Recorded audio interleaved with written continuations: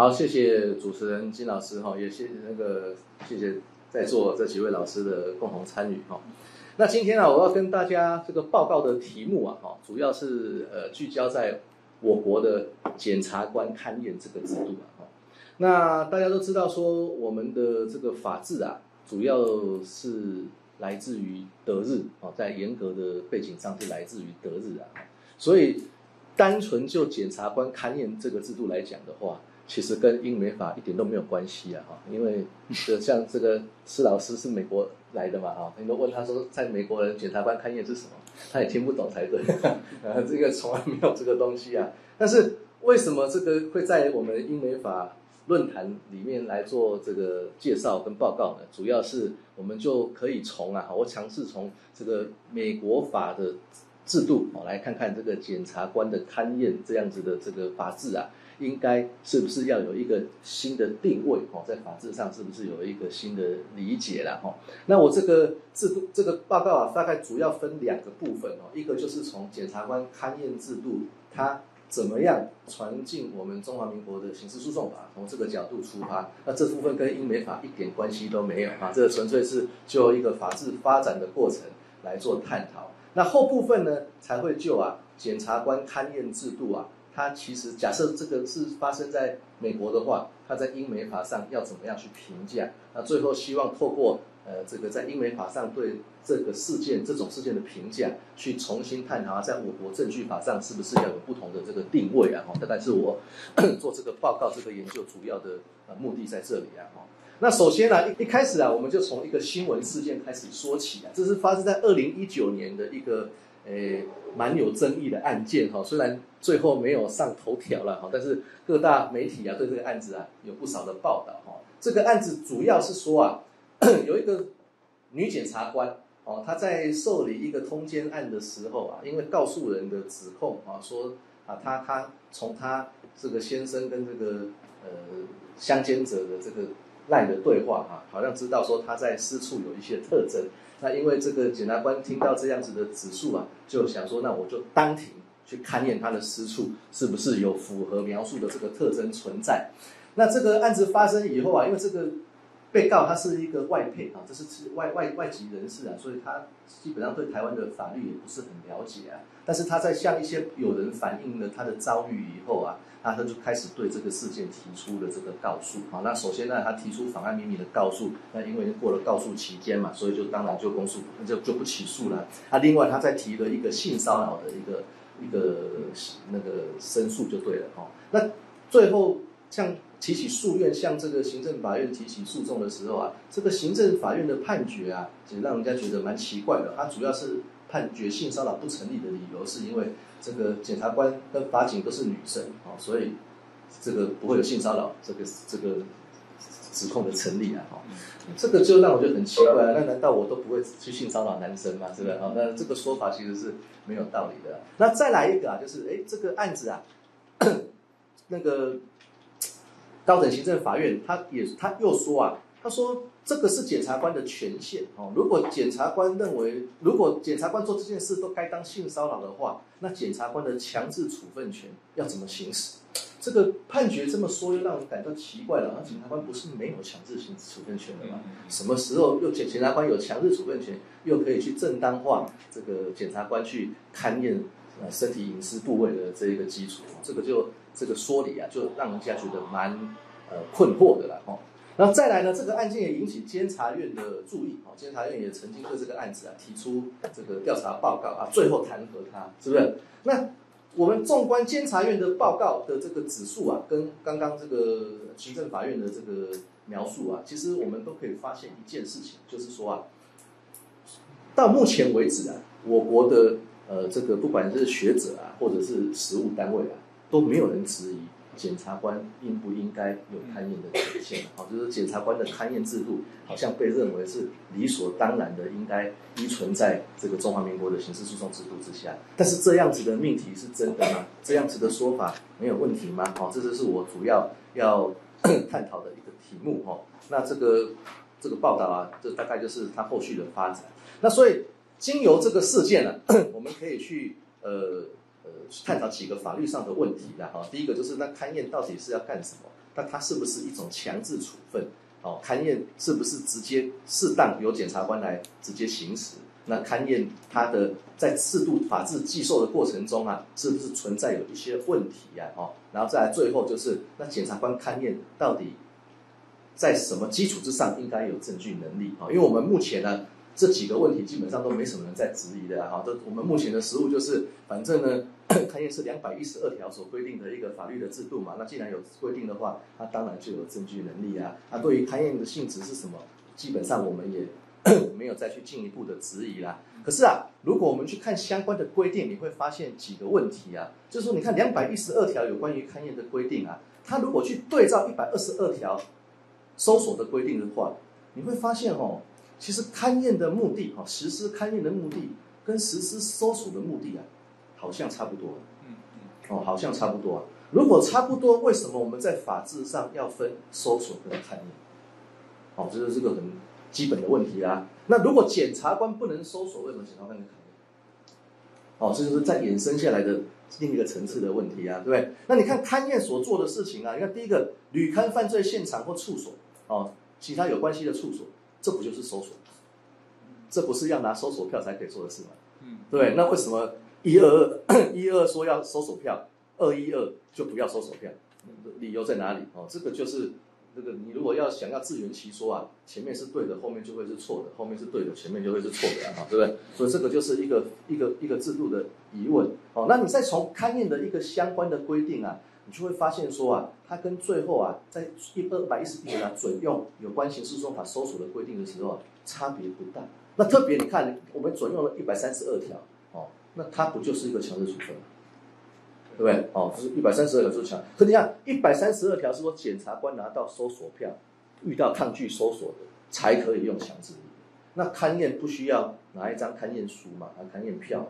是不是好？那勘验什么都不要，就可以遇到强制力进行啊，这个排除啊，这不是一个制度上的一个矛盾嘛？哦，所以这个我们现行的法制啊，是存在着这些的问题啊。当然了，当我看到一百五十条的时候，我也发现一个有趣的现象啊，就是呃，这审判中的辩护人才可以在场，那也就是侦查中的辩护人是不可以在场的。那很奇怪啦，那审重要的是侦查阶段，审判阶段相对来讲不是那么的重要啊。那为什么审判中才可以在场？哦，但这个主要的原因是因为啊，侦查中的辩护人这个制度是民国七十一年修正才加入的啦。也就是说，其实这一条在民国七十一年要顺便修，但是七十一年只修了前面，只修了二十七条、二十八条、二十九条那边呢，没有修到一百五十条。这个就是 法制啊更新不及时哦的一个问题啊。但这个当然是小问题了。好，那勘验的内涵呢，依照实物的见解。大概就是透过人的五官知觉的作用，去对你想调查的事项啊，去判断它的这个形状啊，它的它的这个性质啊，所以这个就引发一个问题。事实上，搜索也正是要达到相同的目的嘛，对不对？哦，搜索跟勘验最大可能不同是，勘验已经找到东西要来看的，那搜索是还没找到东西要去找到。也就是说，勘验广义来讲，应该是搜索的后半部的。等你找到东西以后，要确认是不是你要找的那个东西嘛，对不对？所以勘验本质上应该是搜索这个程序的后阶段行为，它本质上应该可以被搜索这个概念给涵盖了哈。那勘验本身呢，因为它是一个动作，所以我们的实务又说啊，勘验本身不是证据，只有勘验笔录是证据。哦，这最高法院说了，我说勘验本身呢不是证据啊，但是勘验笔录才是证据。那当然这就引发另外一个问题啦，哈，就是。这个勘验笔录，它表达的内涵呢，到底是谁的意思表示啊？哦，理论上啊，你如果实物稍微有接触，就知道说那是检察官的意思表示啊。虽然笔录是书记官制作的，但是书书记官只是把检察官嘴巴讲的话把它转成书面而已啊。所以基本上这个勘验笔录所记载的是检察官的意思表示，好，检察官意思表示。可是那进一步我们就想了，那检察官的意思表示会不会出错呢？对不对？你看。勘验是用五官的作用去做这个基础的嘛，所以你可以去看东西的大小、颜色，你可以去看这个东西的这个去勘验它的味道，是不是哦？去勘验它的现在的这个状况，是不是？可是你对这件事情的感受啊，会不会出错？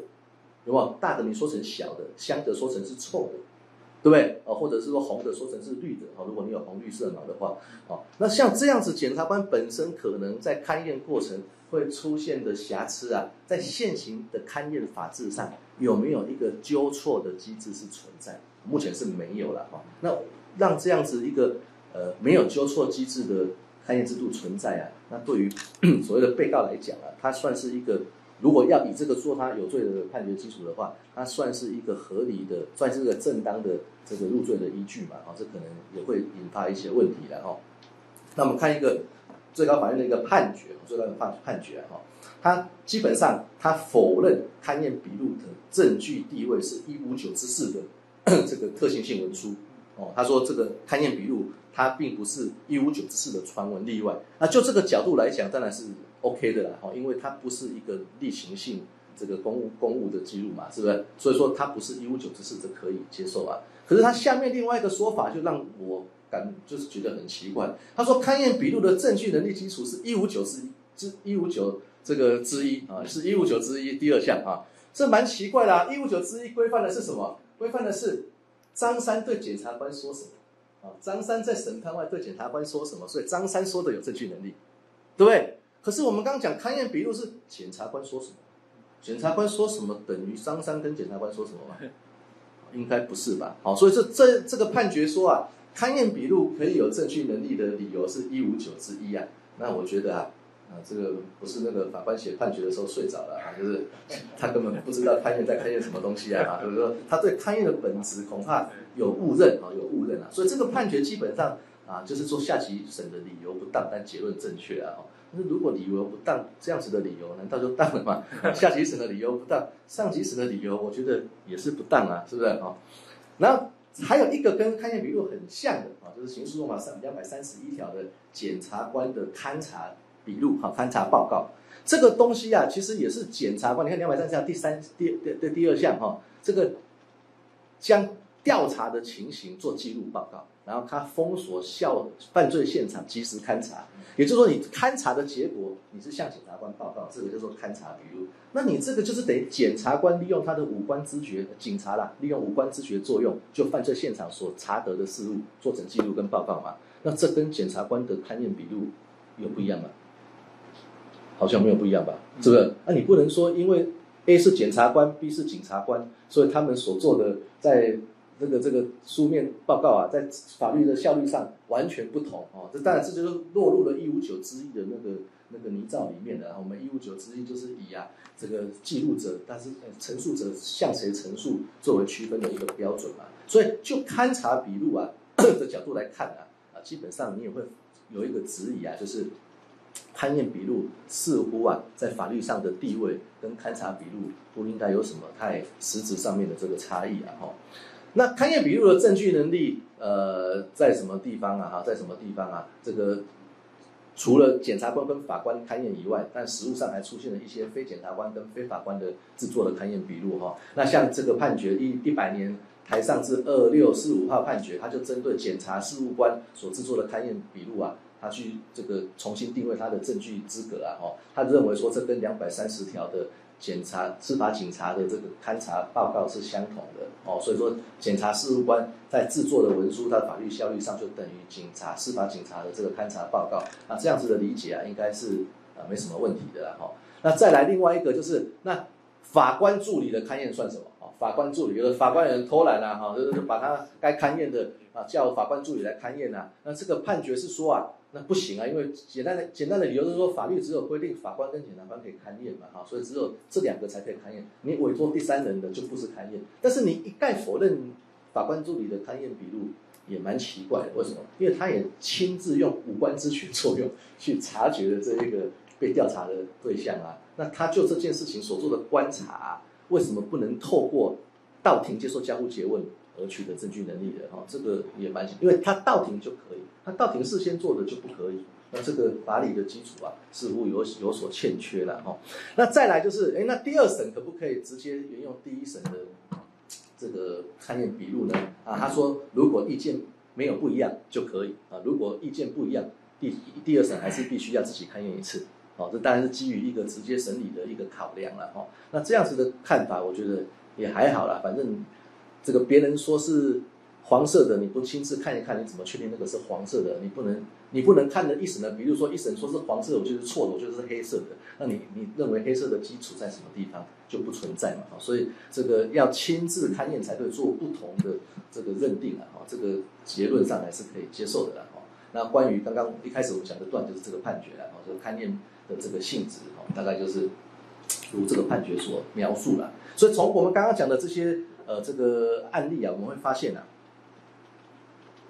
所有的判决啊，基本上都承认了啊，承认这个勘验这个实施是不需要令状的哦，所以勘验勘验呢，它等于是，如果你又承认它是强制处分的话，那它等于是一个强制处分的例外啊，它是一个强制处分的例外的一个类型啊。哈。那这样子的认定或这样子的规范呢，它到底法理在什么地方，说有没有道理啊？哈，这就是我们接下来要探讨的一个法律上的一个争议啊。哈，那。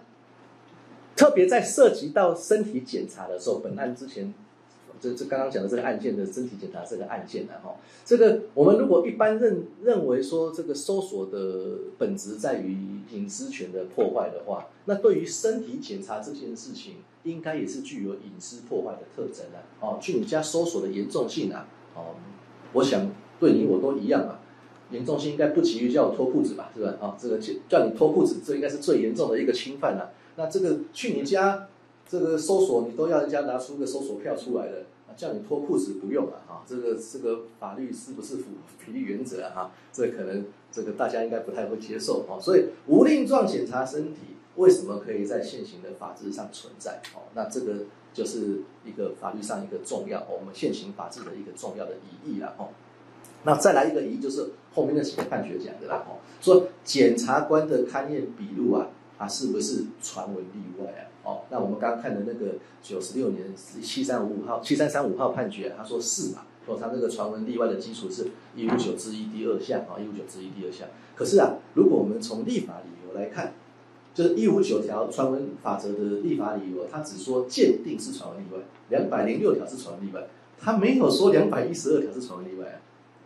也就是如果你从文例解释来讲的话，哎，勘验应该不是传闻例外。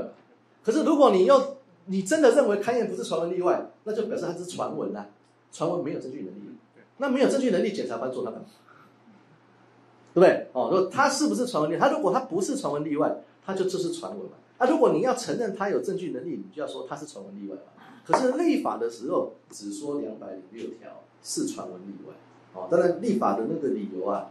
是不是正确也值得批评啊？我曾经写一个文章，他因为他说那个那个叫做什么，呃，组织犯罪条例的第第几条是一个传闻例外哈。我曾经写一个文章批评说，那哪是传闻例外？那根本不是传闻例外哈。所以立法理由对于传闻例外的理解啊，啊，是不是经得起传闻法理的推敲啊？哈，这个其实本质上也是一个严重的问题啊。因为当年在移植这些这个美国法的制度的时候，对于美国法的一些学理的背景啊。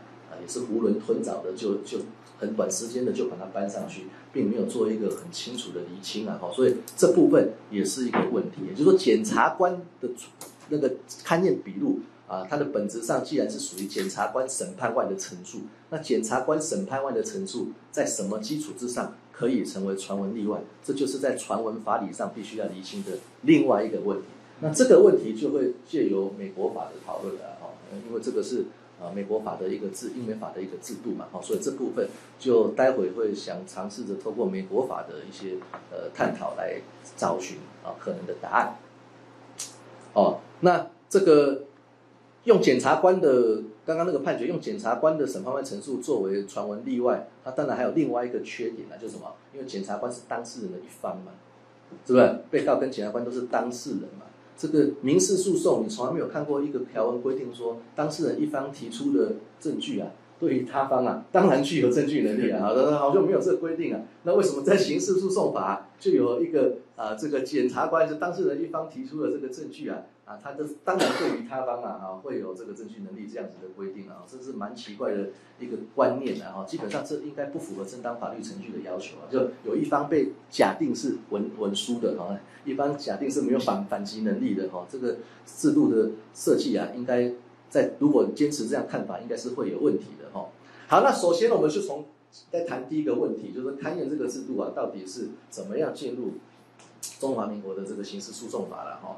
那我们从一开始哦，这个中华民国那个呃，整个整个大中国地区啊，第一个有刑事诉讼法制的这个草案，就是一九零六年的民民刑事诉讼法草案来讲啊，这个最早的版本啊，它其实是没有没有勘验这个制度哦，它只有拘提啊、传唤啊，还有搜查那这样的制度啊，哦，也就是说，其实勘验这个概念并不是一开始就有的。啊。后来，在一九一一年所提的民事刑事诉讼暂行章程草案当中啊，首次在这个草案里面啊，有了检证、搜索、扣押、保管这样子的规定哦。那当年呢，勘验在当年的用语啊，当年的日本话叫做检证的哈，所以这个检证就是勘验的根源哈，检证就是勘验一开始的这个这个用词啊哈。那就当时的草案来讲啊，勘验它其实。跟就是这个检证、搜索、扣押、保管，它其实不同啊，其实就是适用对象的不同而已啊。其实它都是在以发现证据为目的的一个措施啊，就是一个检察官的一个措施，主要都是在以发现证据为目的。因此啊，勘验本身啊，它本身就是一个呃跟搜索相类似的一个这个公权力的作为啊，这件事情应该是可以得到肯定的啦。哦，那你看我们刚讲的这个民刑。民事刑事诉讼暂行章程的规定啊，哦，这个所谓的这个检察官为了发现证据的处分啊，哦，这个可以可以包含这些啊这些活动哦，这些这些活动，那这些啊基本上就是跟现在的勘验啊规定差不多。那接下来哦，这个法律对这个后续的法制有很深深刻的影响，因为虽然这个法律没有实施啊，这个清朝就灭亡了。但是呢，因为这个法律的参照对象是一八九零年的日本刑事诉讼法（明治刑事诉讼法），所以呢，因为北洋政府时期跟国民政府时期所制定的刑事诉讼法都是以明治刑事诉讼法为版本，被那个那个仿模模仿的版本啊，所以这个草案对于后来的这个北洋政府、国民政府所颁布的刑事诉讼法。其实产生了实质的影响啊！我们如果去看条文哈，这刑事诉讼律的规定跟现行刑事诉讼法有关勘验的规定来对比的话，除了一些用语上随着时代的不同而有调整之外呢，其实它整个架构它的内容啊，其实都是一样的，都是一样的。也就是说啊，我们现在采纳的这个勘验制度啊，它的根源啊，在明治刑事诉讼法上面。啊，我们这个是非常古老的一个制度，就对了哈。那接下来就是一个问题，就是那到底当初我们，呃，要去模仿这个呃日本或者德国的法治啊，我们抄对了还抄错了哈，这是另外一个问题啊。因为如果你抄错了，你硬要说这个是德日法治啊，那你就是诬赖他人。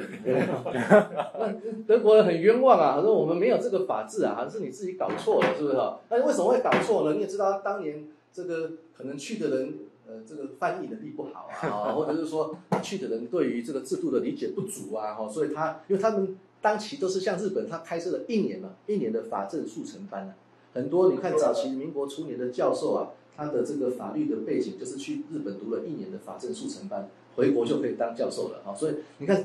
就是好像我们现在只去读了一年 L L N，然后回来说自己精通于英美法，这大概也是自欺欺人的说法而已啊！哈，所以这个大概差不多都有类似的问题啊！哈，所以你看到战前的日本法治，他怎么说？这个是这个明治刑事诉讼法，他说是谁可以勘验、检证嘛？检证的勘验谁？预审判事啊，预审判事有没有？基本上因为他当时是采预审制度的。这只有法官可以勘验的，懂我意思吧？哈，日本这个一百多年前的法律跟你讲谁可以勘验，法官才可以勘验的，对不对？那那所有检察官可以勘验，你说这个法治是从日本来的，那就是乌潘 啊，乌潘他国啊，这个说法是不正确的哈，不正确的哈。那同时啊，你再去看哈，德国法治也是一样，德国一八七年的刑事诉讼法，他直接说是判事为检证。有没有？也是法官检证，也就是说，勘验这件事只可以原则上就是法官的权利啊，法官的权利，检察官是没有这个权利的。那从这个法治史的这个考察，你就可以发现了，你要说检察官勘验这是德日法治啊，那就是自欺欺人啊，因为德日根本没有这个法制，现在也没有。我们是跟你看说，一百多年前他就没有了啊！你不要说你一开始是从他那边学来的，因为他一开始没有这个东西给你学，是不是？现在的德国、日本也没有检察官勘验这个制度啊，现在也没有所以这个以前也没有，现在也没有啊，表示这本来就不应该有了。那为什么我们会有呢？是吧？啊，这个又是一个很有趣的这个问题啦，哈。那当然啦，这个问题的根源可能就是在于啊。因为一九二八年所实施的刑事诉讼法，国民政府所实施的刑事诉讼法，它一开始就赋予了检察官所有的强制处分权嘛。你如果检察官都有羁押权、有搜索权，什么权利都有啊，那你顺便给他一个勘验权呢？这也好像没什么了不起的吧？大家自然觉得很正常，对我连把你抓起来关都可以了，脱个裤子有什么大不了的啊？这是这应该是大家可以接受的一个一个一个比比比照哈。那所以。根源就在于为什么当初啊，我们会认为检察官啊拥有强制处分权那经过考察，你可以发现啊，这也是有典故的啦。哈，这个典故在于什么地方啊？